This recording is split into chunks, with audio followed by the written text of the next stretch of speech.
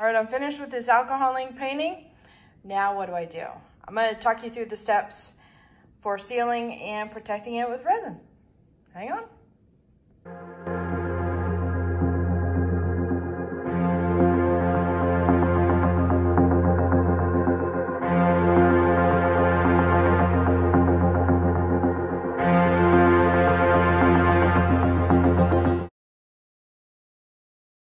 Howdy, howdy, this is Clara Lawrence.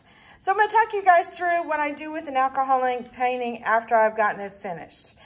And this is about mainly how to protect the painting and sealing it in.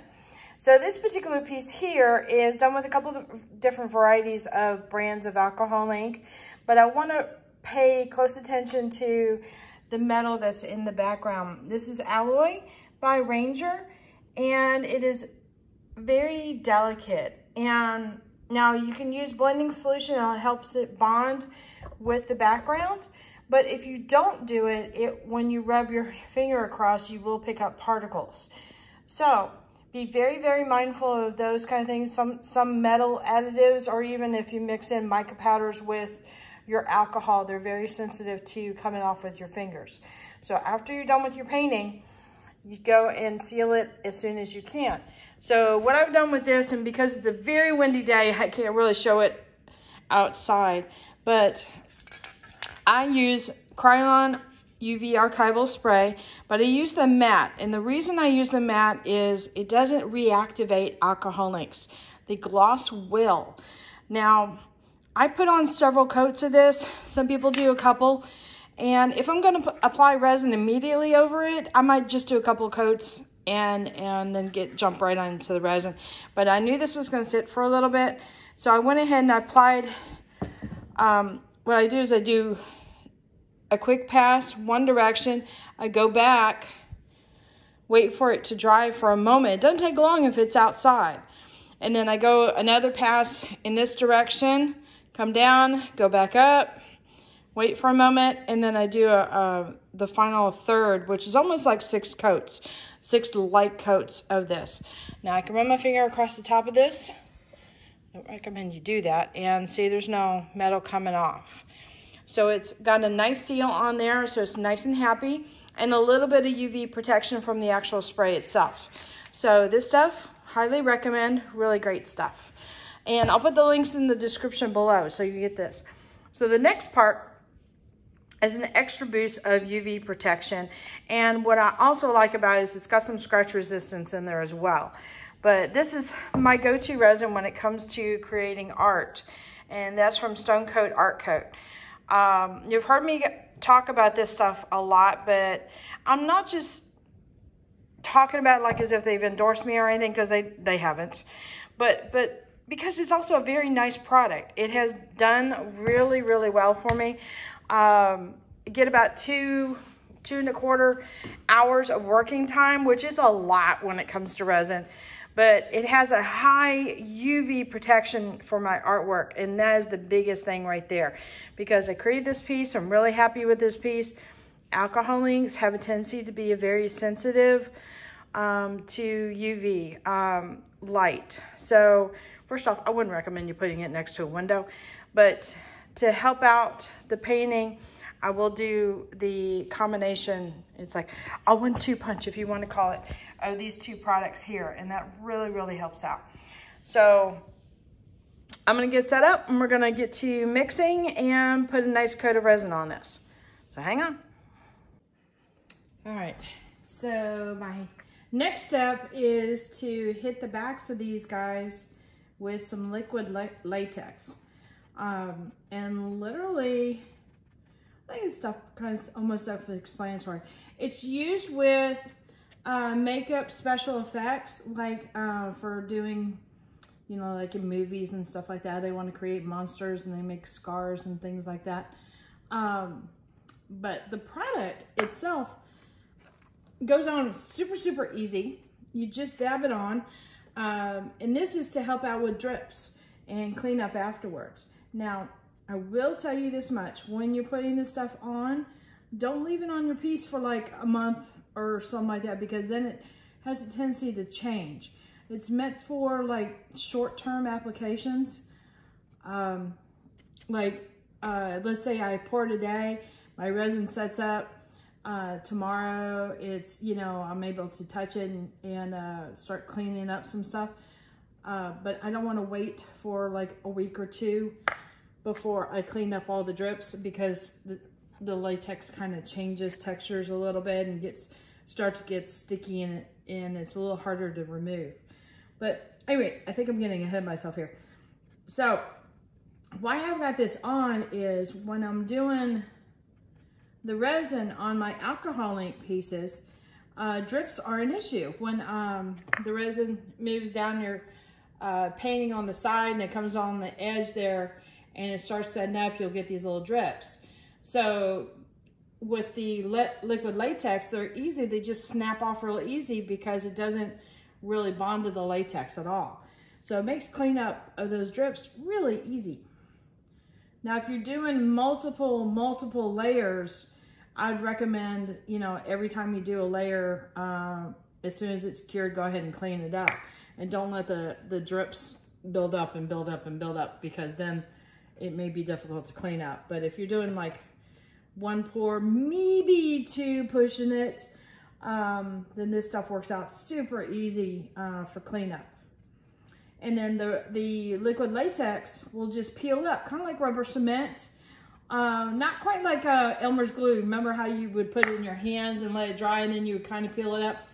Not quite the same thing, but it's more like rubber cement where it'll ball up and peel off in long rubbery strips.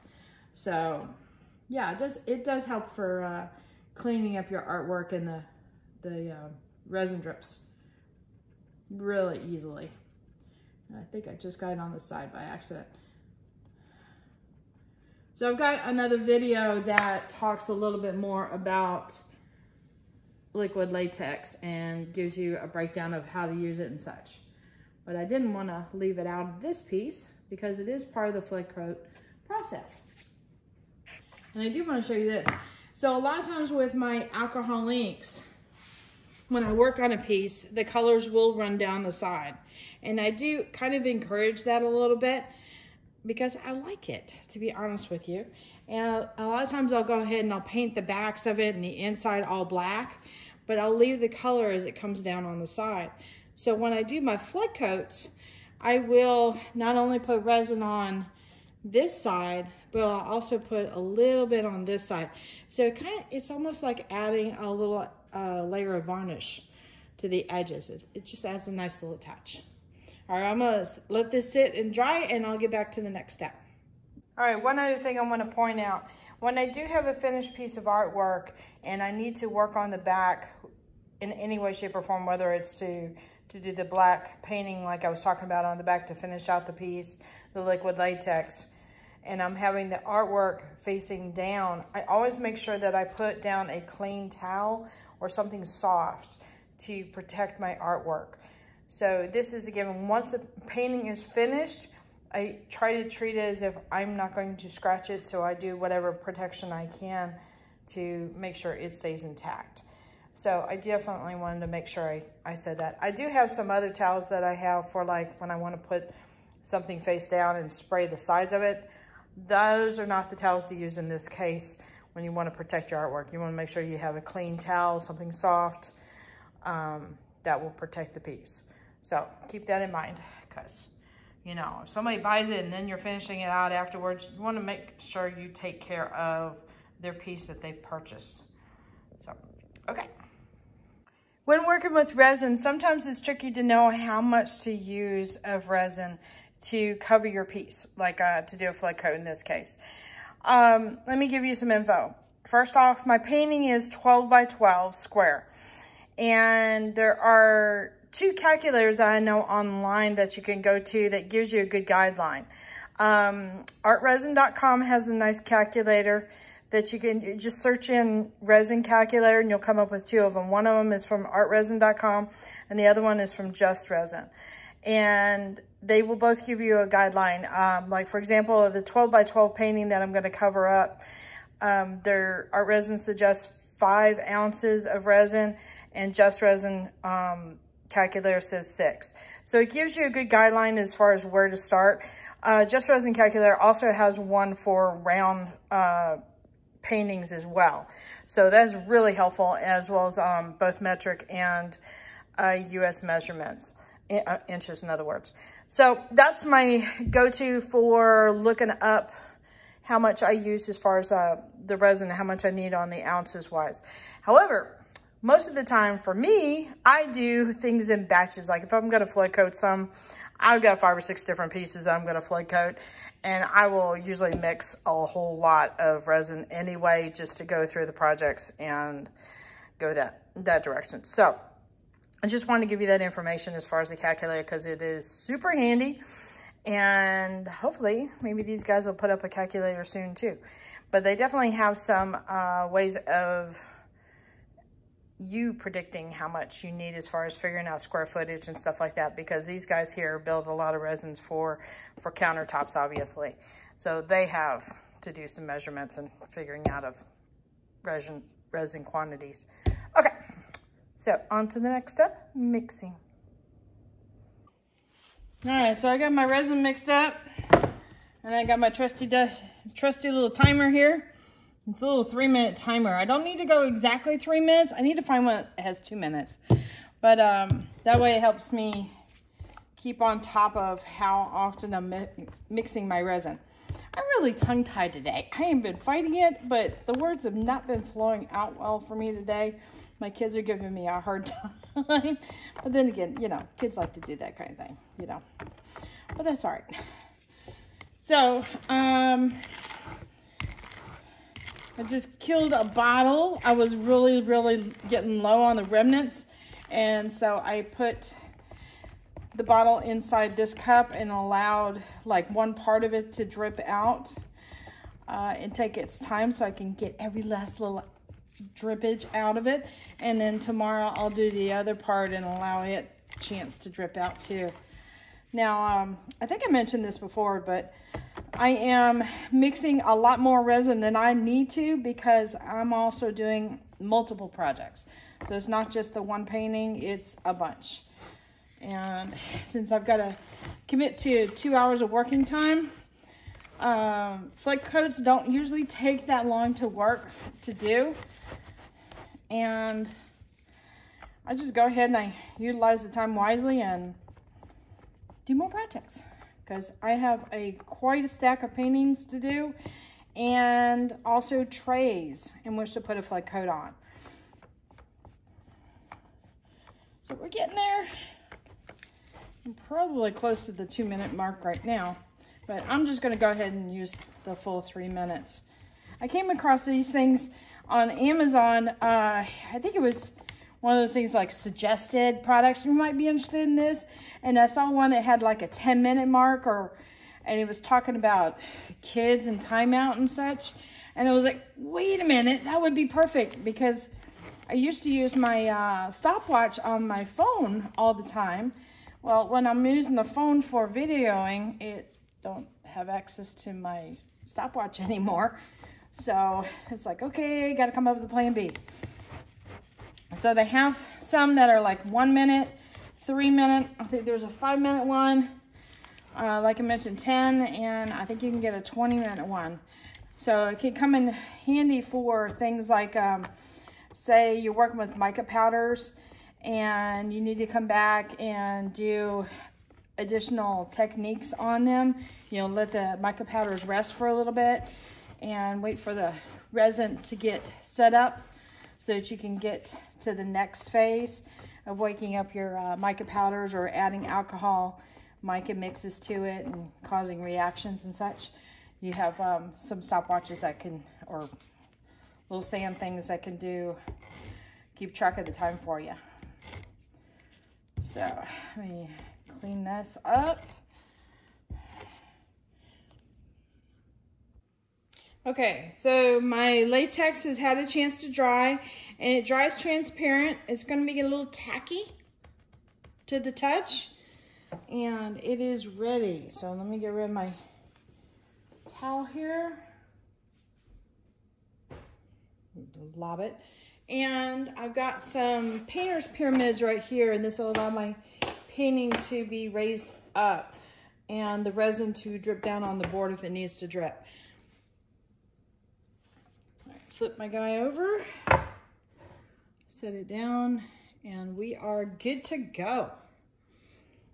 So I've got a torch handy, especially with uh, flood coats. I'll apply the uh, clear resin on it, allow it to sit for a moment, and then hit it with a, a torch. You can do heat gun as well. If you're using uh, Stone Coat Countertops resin, uh, meaning the Countertops formula, a torch will probably behave a little bit better with it or it reacts better with a torch than uh, a heat gun. But I find the art coat, it can go either way. And most of the time I end up using a, a heat gun because that's what I've got out and I'm using already. But in this case, I've got my torch out. So let me get a towel handy.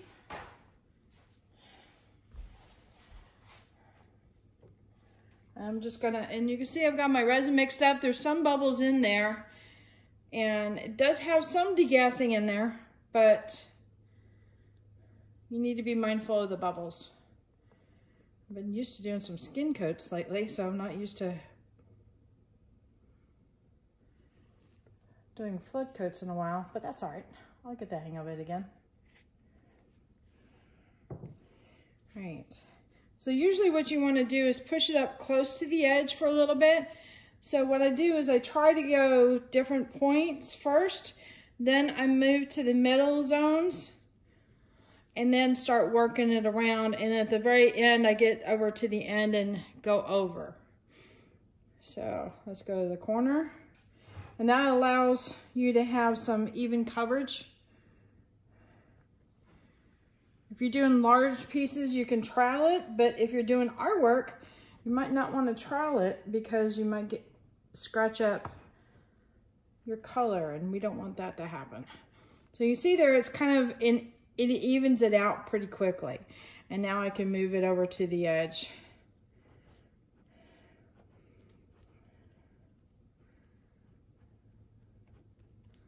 I'm just very gently trying to get it over. And having good lights right here helps out immensely because you look at the angles to make sure that you're completely covered up, meaning your surface is covered with resin.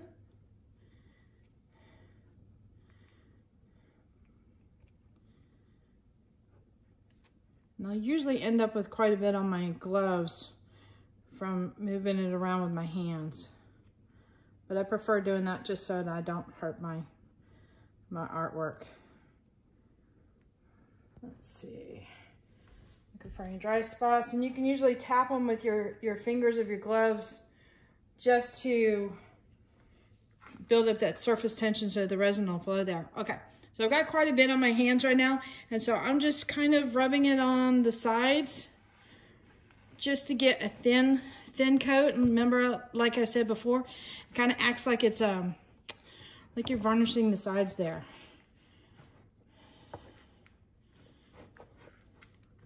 It might encourage it to run down the sides a little bit. That's okay, because I've got that latex there. It definitely does a shimmy with the, the pyramids underneath.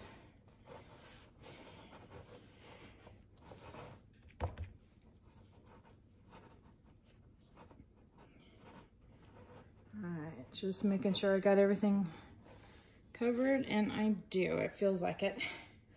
Okay. So I will scrape off my hands into my big resin cup just to get every last little drop that might be wasted otherwise out. And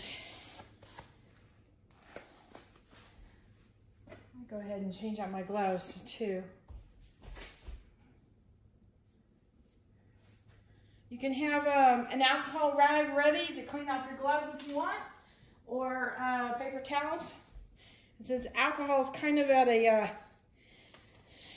well, let's just say it's rarity right now. I've been using paper towels and sometimes changing on my gloves. Okay, so let me look from the sides. So if you look at different angles with your light, you can see things like items in your resin. Look for dots in a row and that may give an indication of a hair. Like I've got several dots in a row here. And just by running something across it very carefully, you might be able to pick it up and that wasn't anything. It just happened to be dots in a row. All right, let me hit this with a little bit of surface tension needed there. All right, I'm gonna hit with the torch and you move fairly quickly. You just wanna pop the bubbles. You're not trying to heat it up because if you heat it up, it'll flow over your edges. All right, I don't I did a good enough job because I'm seeing a whole lot of bubbles.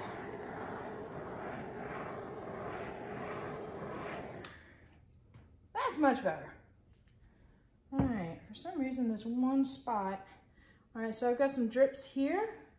I'm gonna add it right to that one area. And if you're handling your painting beforehand without gloves, sometimes you can transfer oils from your hand onto your painting and you might get that little resistance to resin. So that's why you're always constantly looking around at different angles at your piece to get what you need. And I'll bring you in and move you around at different angles and you'll see what I'm talking about real quick.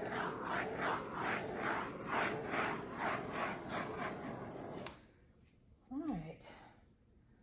if you do it right, you'll have this glassy type of look. And it, especially with alcohol inks, man, it really makes it pop. So let me bring you in an angle, because you already know what the piece looks like. Okay. So you can see how you can see those glares, but by doing that and moving it around, like you can see there's a couple bubbles right there where the, the hot spots are. But you can really get to looking about, you know, a little bit of, might be thinner in that area. But resin is self-leveling. So it will level off, but it's a really great way of, when you get in the angle, you can see all any kind of dust or debris that to get that out before it cures up. Um, another thing, because it's self-leveling, make sure your piece is level before you set it aside to uh, dry or wherever it's going to cure, I should say. Make sure it's level at. So otherwise you'll have a lot of drippage on one side or the other. Or if you've got color within your resin, it could be like, instead of being nice and centered like you might have wanted it, it could be off to the side or even on the tray, which would be awful. So this is going to turn out nice and purty. And I'll probably hit it with a heat gun in about like three minutes just for one last pass. But that's how you do a flip coat. Pretty simple, huh? All right, one last thing. I've got my painting on my tray here and I'm putting it into a nice dust-free zone. Now this one happens to be a baker's rack and my cookie sheets, I've just got parchment paper, which naturally resin doesn't stick to very well. But what allows me to do is have multiple projects set up and I've got a cover here. I mean, I just drop it down, bring the zippers down, and the bugs won't get at it. And in Texas, that's kind of an important thing. But if you don't have something this fancy, uh, and I say fancy because, well, it kind of is a little bit, uh, use a box that's larger than your piece. Just make sure it's taller than your piece. Uh, a cardboard box does fine. I've got a couple of cardboard boxes around that I use for larger pieces. Um, you can even set up some uh, plastic cups around, put a, a, big flat piece of cardboard on top, drape a drop cloth over that. Just make sure you're far away from your piece, that the drop cloth doesn't come in and stick to the side. But um, yeah, definitely want a dust-free zone to keep your uh, resin nice and crystal clear on top. Later.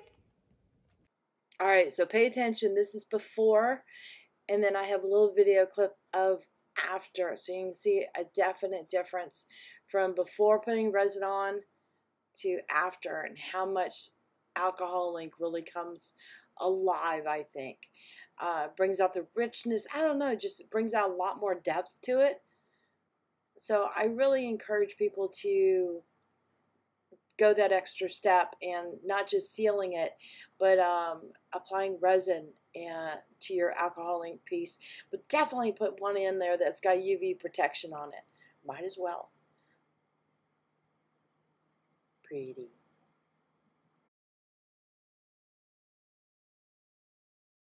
All right, hit that like button, hit the subscribe button, but definitely hit the bell to get notified next time I put a video. There you go.